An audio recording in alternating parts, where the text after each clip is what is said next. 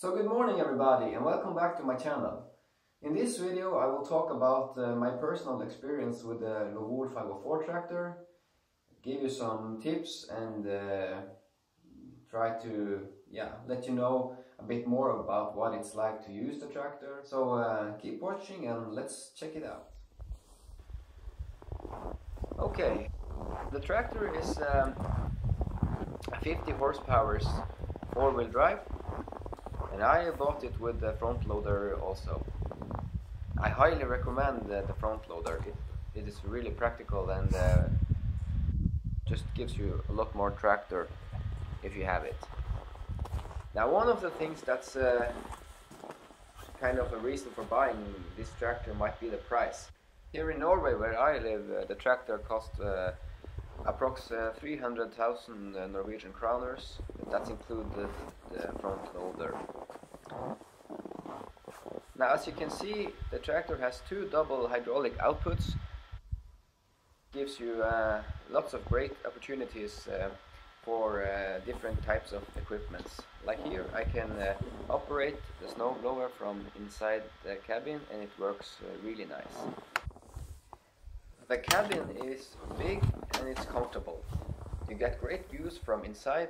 Uh, there's um, big windows the doors are uh, basically windows too. And I think it's uh, just a comfortable and nice cabin. I like the seat also. It's easy to step inside. The springs in the seat are nice and you can also adjust it. And you can also uh, push the seat uh, forward and backward uh, depending on if you're a big or small person the rear window can be opened, but it only has one position. I would prefer to have a smaller position too, for windy and rainy days. Now uh, one of the things I like uh, with the tractor is how they put up the transmission box. They have the two, the two traditional uh, gear handles here. The, they have low, medium and high so you can actually change uh, the transmission three times. That's nice. But this is the lever you use for operating the tractor when you're working. Once you found the right gear, uh, you just uh, push this uh, forward or backward and the tractor goes with the same speed and power both ways. So it's very practical to uh, work with the tractor. I like it a lot. This is the handle where you operate the front loader. By pushing it a little extra forward, you put the front loader in floating position, like that. If you have, for an example, uh, pallet forks on the loader, it's also po possible to um, push it uh, from side to side.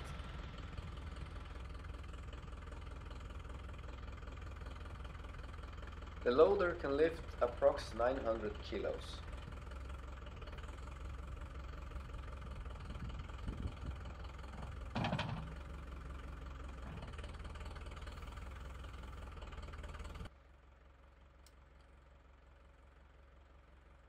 Let's take a little look under the hood. You open the hood by pulling this lever here. It pops up.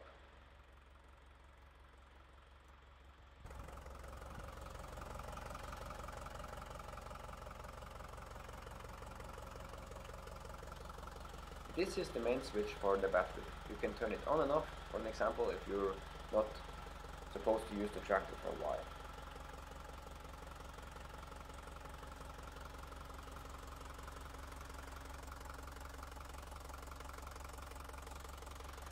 Tractor is a mechanical tractor, so it's rather easy built. So if you're handy or maybe a mechanical, a lot of the maintenance uh, is possible to do it yourself. But uh, always be aware that if you don't understand the engines and the mechanicals, you should always ask some professional for help.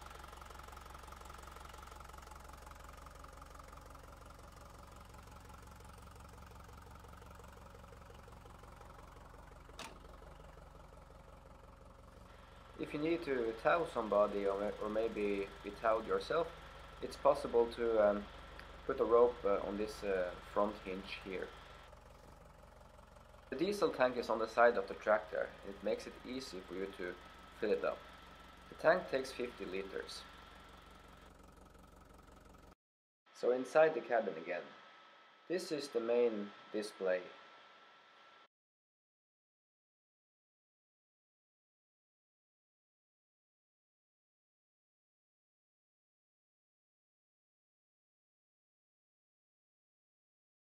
If you want to enter the four-wheel drive mode, you push this lever downwards just when you're about to release the clutch. This is where you control the hydraulic outputs.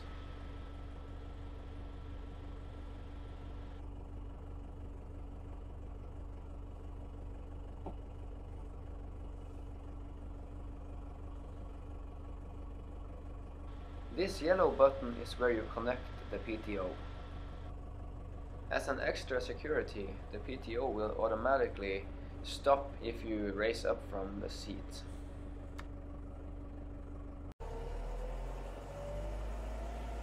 The top speed of the tractor is uh, 30 kilometers per hour. Now the tractor is not uncomfortable to drive on the road, but I think it's a bit uh, uh, jumpy and that's probably because it don't have so much suspension. This might probably one of the things I don't like the most about it. But hey, it's a machine meant for working, so it's okay. When it comes to pulling a trailer, I think it uh, does a great job. My experience uh, with how much load you can have is, uh, if you, for an example, uh, drive gravel, I wouldn't have had any more than uh, 3,500 kilos. If you have a trailer with a size that matched the tractor, it's, it's just uh, such a valuable thing to have. Uh, you know, there's so many things you can, can do with a small trailer, and it's really, really practical and handy. So uh, this is one of the things I've actually used uh, the most on the tractor. So I'm very, very satisfied with that. Okay, so that's what I remember for the most part uh, right now. Um, what can we wrap this up with? I like the machine a lot. Uh, it's a strong, uh, easy to drive little tractor. I have for the most part had just um, positive uh, experience with it. There was uh, one uh, year warranty on it for um, at least here in Norway.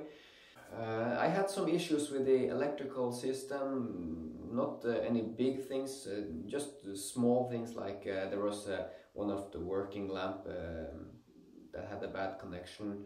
It was actually a quick fix. All of this uh, was repaired um, before the warranty went out, so I didn't have any extra costs on that. great service from my local dealer. Um, they they did the, the first service on the tractor uh, came out to me and did a great job there they changed the oil on the engine and on the gearbox and front axle